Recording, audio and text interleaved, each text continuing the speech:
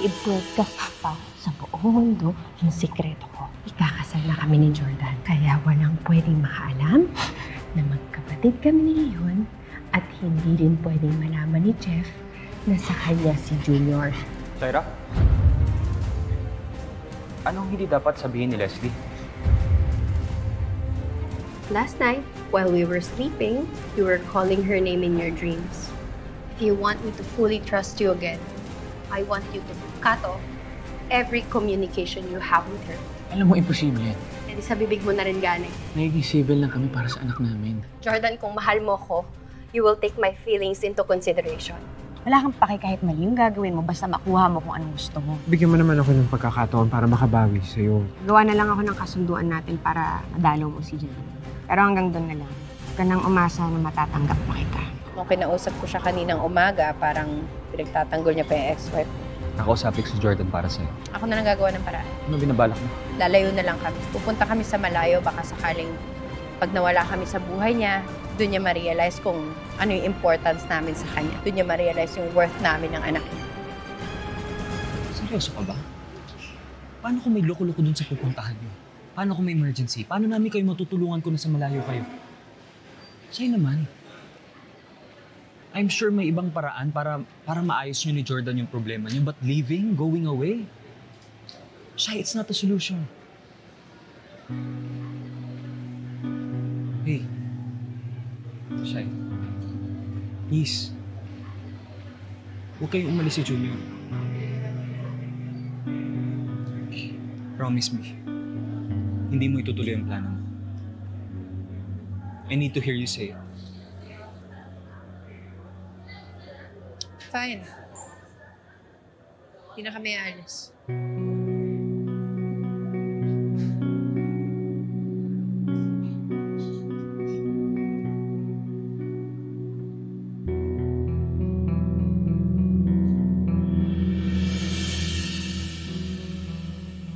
Mami, Yes, anak. hindi po ba dadalaw si Tito Leon? Hindi po ba tayo pupunta sa park? Um, pwede naman tayong pumunta mamasyal. Tayo lang, anak. Masaya pa rin naman kung tayo lang. Pero mas okay po kung kasama si Tito Leon. Baka po kasi hanapin niya si daddy niya eh. Oh. Ano yun? Ano yun?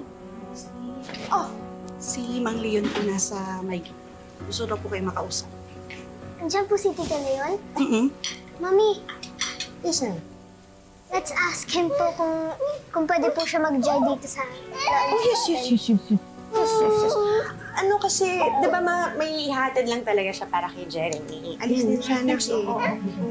Oh, yes, baby. Oh, sige, sige, sige. Ay, want, you want kay Lola. Want kay Lola. Come here. Lola. Yeah, yeah, yeah, yeah. Ay, ayaw, ayaw, ayaw. Ala, I'll give you food. Ay, padun ako. Ang nice. Oh. And the chicken with Lola. Yes, okay, okay, okay, okay, okay. okay. Oh, this one. Ate Melody, di ba sinabi ko na sa'yo, hindi na welcome dito si Leon. Ma'am, sinabihan ko naman po, kaso napupulit po eh. Oh, I got you, I got you. Ay, na, mama, ka na. Tuloy mo na yung pagkain. Diyos ko nang bahala. You want kay Ako na kakausap ka niyo. Oo, no, no, no, don't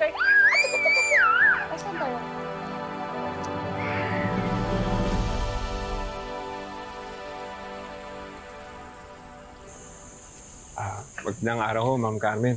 Eh, pasensya na ho kayo sa balak. Pwede ko bang makita si Christy? Masama pa rin ang loob niya sa'yo. Hindi pa siya handa na kausapin ka.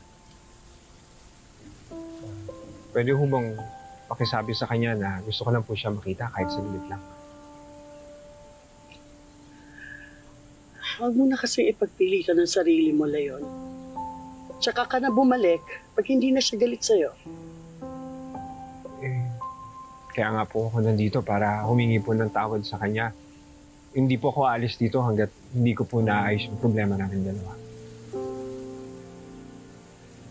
Pa- Paano kung ayaw niya talaga? Pwede maghihintay po ako kahit gano'ng katagal. Hindi po ako susuko hanggat hindi niya ako napapatawad.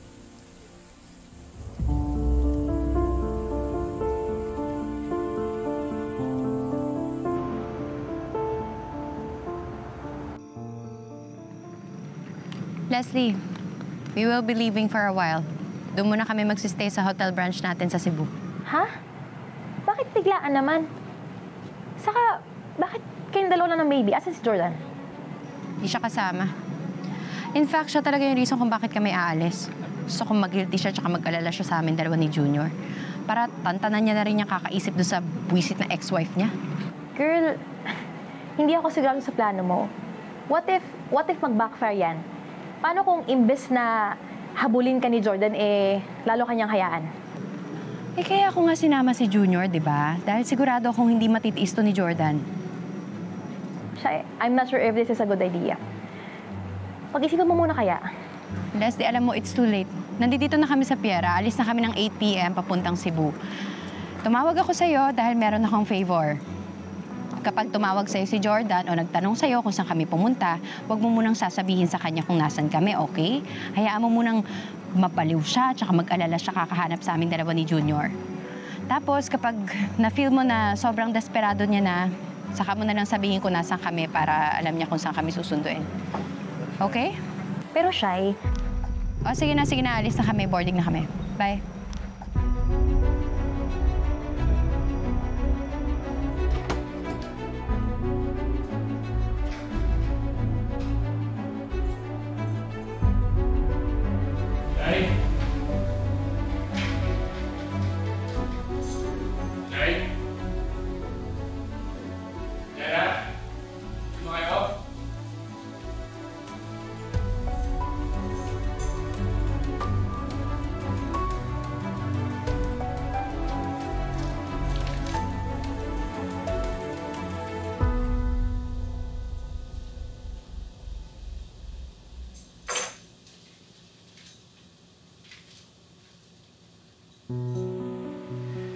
Han, it really breaks my heart na umalis at iwan ka.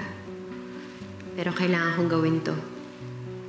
Mas masakit kasi kung magsistay ako pero nakikita ko na hanggang ngayon, hindi mo pa rin makalimutan si Christy.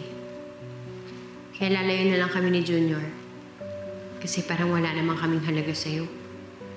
Kasi iba naman yung mahal mo. Magagawa mo na ngayon lahat ng gusto mo. So I hope you're happy now.